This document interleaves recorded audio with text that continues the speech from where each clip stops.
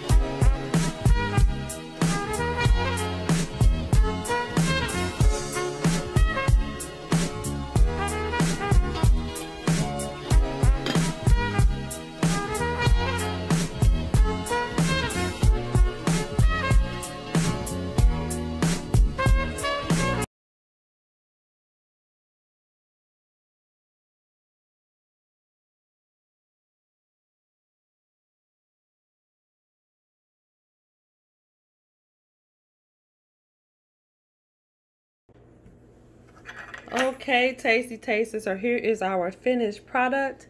I'm gonna open this up so you got. Oh, you see that? Did you guys see that? That is so much flavor right there. You guys see that moistness, that tenderness? Look how tender that is. So that's why you put the bread, the milk, and the olive oil. So here we go, guys. I'm going in. Mmm. Mmm, mmm, mmm. This is flavor at its best. Oh my gosh, you guys.